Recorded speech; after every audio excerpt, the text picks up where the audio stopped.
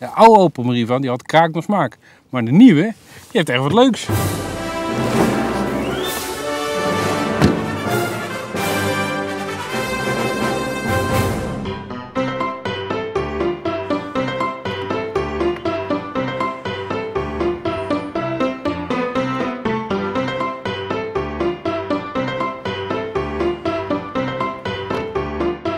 Deze auto heeft namelijk suicide doors, zogenaamde zelfmoorddeuren. En vroeger was het best wel gevaarlijk, want als dan de wind gewoon een heel klein beetje in die deur sloeg, dan waaide die helemaal open en dan werden inzittenden gewoon eruit gezogen. Dus daarom is het toen verboden, maar sinds vijf jaar mag het gewoon weer. Dat is eigenlijk best handig.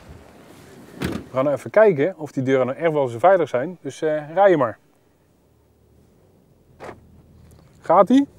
Als het goed is, gaat hij nou niet open kunnen. Nou, en ja, gelukkig, het werkt.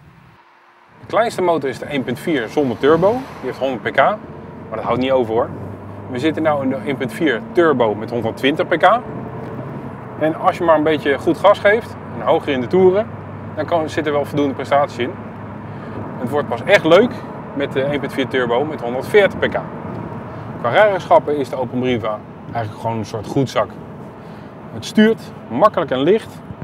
Een pookje zit lekker hoog in het dashboard en het schakelt lekker soepel. Voorin zit je hoog en ruim. En hij heeft een handige flexrail. En dat is een systeem tussen de stoelen wat je naar voren en naar achteren kan schuiven met handige bakjes. Van de drie zitten achterbank kan je gewoon heel simpel ook een tweezittertje maken. Namelijk je klapt dit naar voren en dan kan je hier kan je niet alleen in de lengte, maar ook in de breedte naar achteren schuiven. Kijk eens, voetenruimte.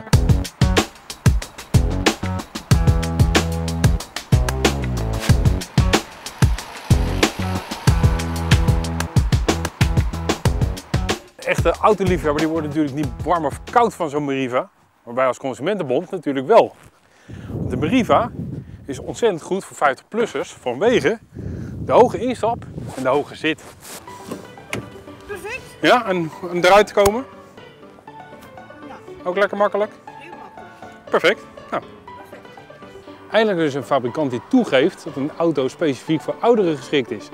Maar deze Meriva, vanwege die achterdeuren, is die ook heel geschikt om de kindertje mee te nemen.